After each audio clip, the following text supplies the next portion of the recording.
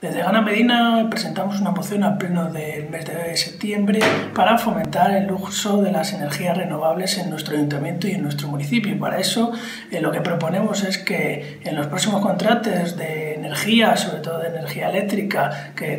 tenga nuestro ayuntamiento, los próximos pliegos que desarrolle, se contraten y se pongan medidas para que eh, sean gestionadas por comercializadoras de que la energía sea de origen renovable. Entendemos que estamos en nuestro deber ético y nosotros como Gana Medina estamos muy implicados en el tema medioambiental, en el tema sostenible, para que en nuestro ayuntamiento nos pongamos a la altura de otros ayuntamientos para que tengamos consumo de energía de energía renovable. Además del consumo de energía renovable, creemos que nuestro ayuntamiento tiene que implementar medidas para que se desarrollen eh, el uso de edificios de manera más sostenible y sobre todo que tengamos edificios adaptados al siglo XXI.